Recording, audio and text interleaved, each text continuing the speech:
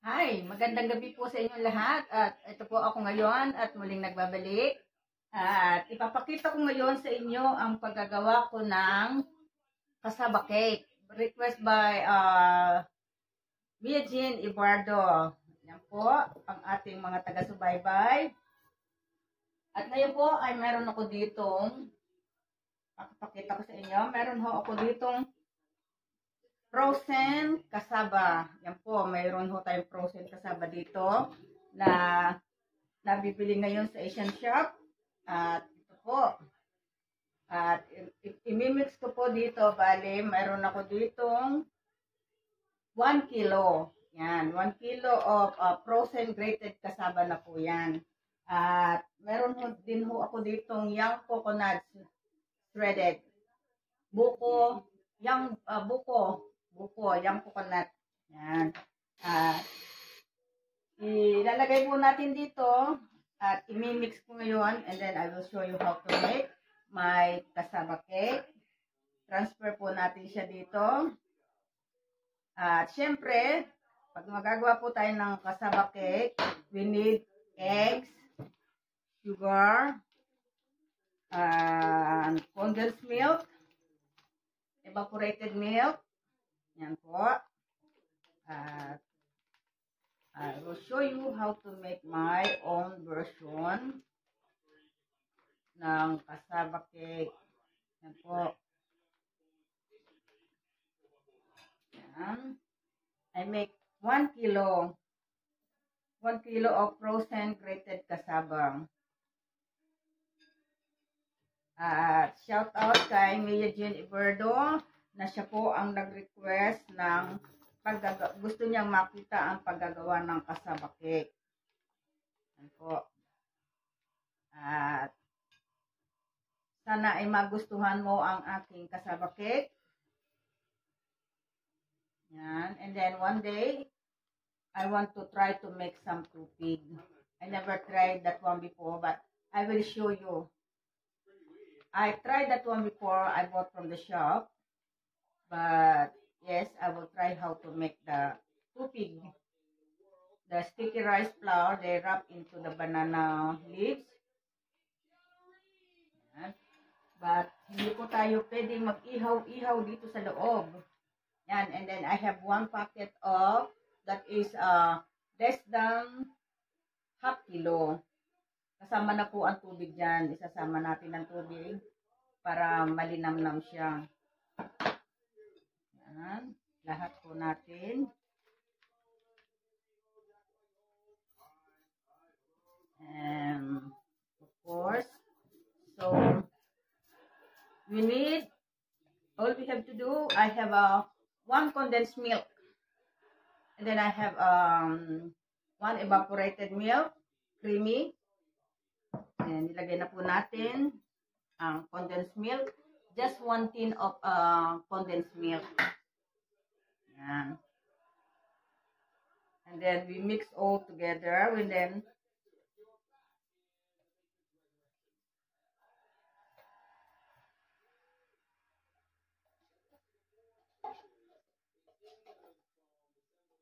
Sa gusto po magtinda ng ganyan, pwede ho nyo gawin yan ang kasama cake.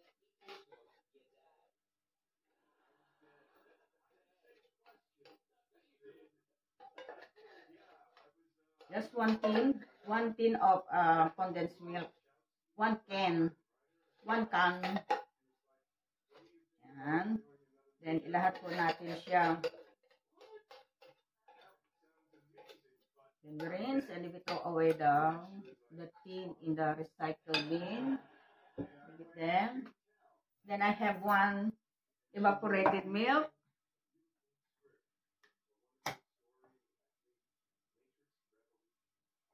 And then I just put half cup of sugar because it's already sweet. Yan. Then mix all. And then we put vanilla, vanilla essence, vanilla, vanilla. Yan. Vanilla, vanilla. I love vanilla. And then,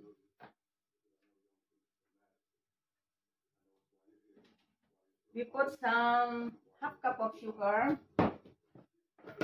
Just one, uh, just half cup of sugar. Because the condensed milk is very sweet, so we don't need to put much. Unless you all people, they like very sweet. Yan. So, and then we can mix all until combine all the ingredients. And then we put some eggs. Stir that one first. Stir until the sugar is melt. Is um is gone.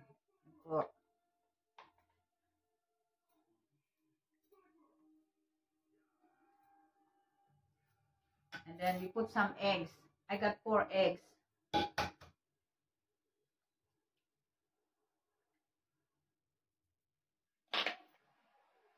Smells good. The vanilla smells nice. Yan. And then we bake for one hour in the oven.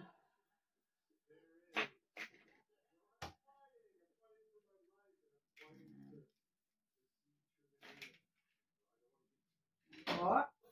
At basurahan para hindi messy-messy.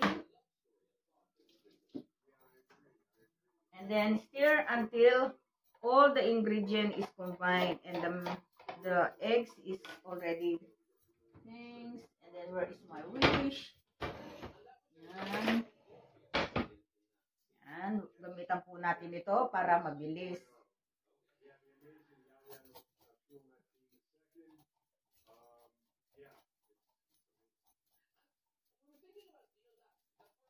Kung gusto po niyo lagyan ng makapuno po, para pambahay, mas mabuti po yung gusto niyo ng makapuno na nasa bote, pwede rin po at least matamis na yun.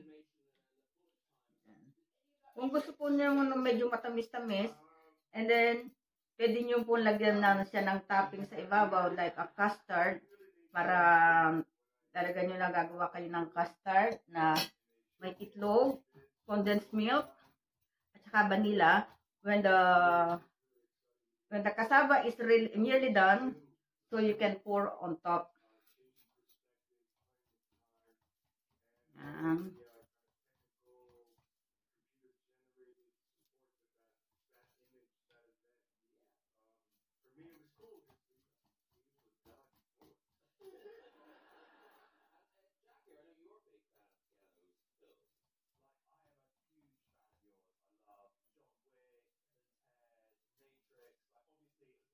At meron ho ako dito naka-prepare ng ah, baking dish. Yan po, jam natin siya lulutuin. Baking dish. And then maybe I make a lot. So, I have spare just in case it's not enough in there. Because my baking dish is quite big. Yan. Pwede po nating lagyan ng, kung gusto niyo lagyan ng makapuno, one minute, I have a look in the, in the pantry.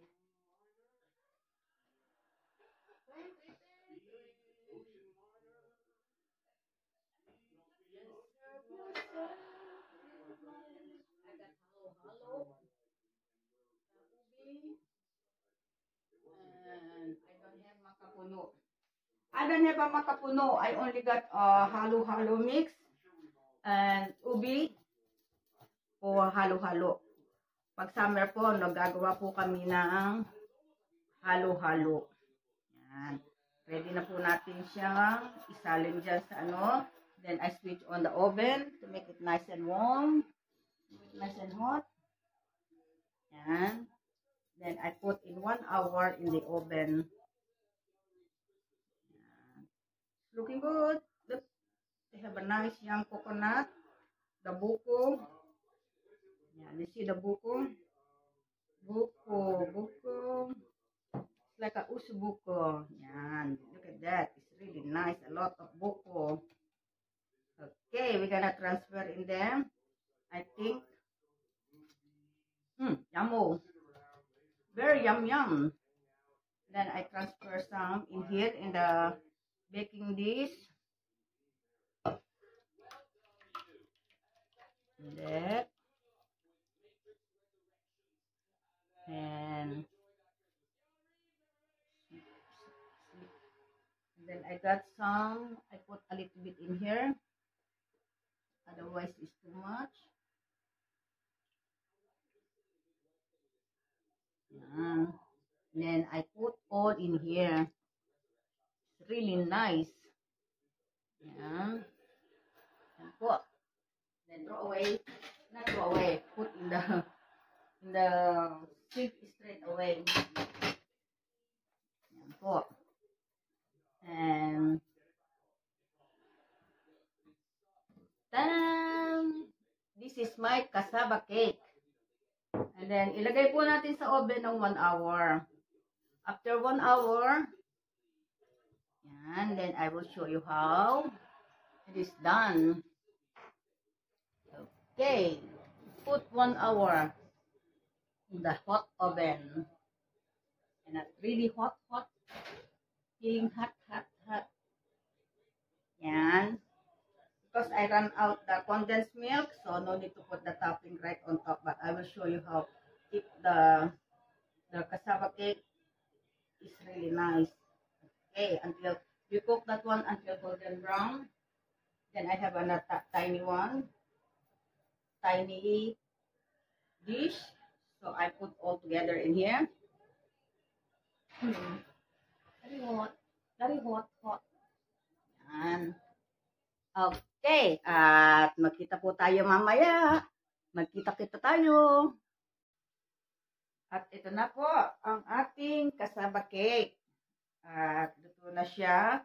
At at sana po ay nagustuhan ninyo. Ito, Mayajin, Ibardo, isa lahat. Ito po, siya po ang nag-request niyan. Ito po ang aking kasaba cake. So, ito muna. Lagyan po natin ng ilaw para makita nyo at hindi maliwanag ang aking uh, yan. Yan po. Uh, there you go. Yan. Mijin Ibardo, my kasabad cake. And I hope you like it. And this is the one I just come out from the oven because the other one is quite small. And yes, and this is the biggest one. Yan. 1 kilo uh, frozen kasabang and uh, about 500 gram of uh, buko, frozen po. Pero kung makakabili kayo dyan ng buko na already great, uh, already na, nakudkod, nakudkod na siya, nakayod na, uh, pwede po nyong, ano, kuya pwede po yung makapuno. Yan po. Ang sahog po lang yan ay isang condensed milk, isang evaporated milk, 1 kilo of cassava grated, and 1 packet of coconut, about 500 gram na young coconut, yung pong kinayod na, and apat na itlog, and then half cup of sugar. Kasi po ang condensed milk ay mas sweet na, matamis na. Kaya yun lang po ang nilagay ko ngayon doon. And then, about 1 tablespoon of vanilla essence. Yan lang po kadali ang ating pagdidate ng kasaba cake. At uh, sana po ay nagustuhan ninyo. And here you go, Miyajin Ibardo, your request. Uh, kasaba cake. And look, this is nice. It's still hot, very hot. That's why I'm wearing. But this one is really nice. Look. And I hope you like it. Uh, dapat ay ko siya ng custard sa ibabaw. Uh, I want to make some uh, egg, uh, about 4 eggs, to put like uh, egg custard right on top. And then I ran out the, the, um, the condensed milk. And then I put some egg mixed with the egg cust with the egg with a condensed milk and about evaporated milk Then put right on top when the when the cassava cake is already cooked. Pagkaluto po ng cassava cake, then leave it there until golden brown para siyang may leche plan sa ibabaw. Eh, kaso po nag-run out ako ng evaporated milk, hindi ko naman po diyang lagyan siya ng coconut milk. So, just leave it there like that. Just the ordinary cassava cake. Yeah, one day, then I will show you how to make the um, the custard cake. Yung pong yung pong custard, may sponge cake sa iba sa ilalim, then custard sa ibabaw, may leche flan sa ibabaw. Yan. At yan po. At uh, just comment below kung ano po ang gusto ninyong ipa-request sa akin, uh, ipag, ipaluto. Then I will cook for you. Yan. At sana po ay nag-enjoy kayo sa panonood sa aking videos. At pasensya na po at natagalan ako ng pagbibig kasi po naggawa uli ako ng fruit cake kasi po marami akong guest. So, every guest, one pair, husband and wife. So, I got one of each. So, binibigyan ko po sila ng ng Christmas gift, Christmas pudding. Yan. Yan po. At sana po ay nag-i-enjoy kayo sa panonood sa aking mga video na ginagawa. At magandang gabi po sa inyo. At sana po ay huwag kayong magsasawa sa panonood sa aking mga video na ginagawa. Please, sa mga hindi pa po nakasubscribe sa aking YouTube channel, please subscribe my YouTube channel. Um, click the notification button and please like and comment. Yan. At shout out po sa inyo lahat dyan. At sana po ay gabayan tayo ni Lord sa araw-araw na ating ginagawa at wag po tayong magsasawa na magpasalamat sa Kanya kahit ano po ang ginagawa natin, lalo na po sa panahon ngayon na hindi natin alam kung ano ang dapat natin gawin, kung ano mangyayari. Kaya please, help, pray-pray lang po tayo at hindi tayo pababayaan ni Lord. Yun po. At every blessing is a blessing. And yan po, dapat po tayo magpasalamat sa araw-araw na ginagawa natin dahil siya po ang ating gabay siya po ang patnubay natin sa araw-araw. Okay po. At maraming maraming salamat po. God bless and bye-bye.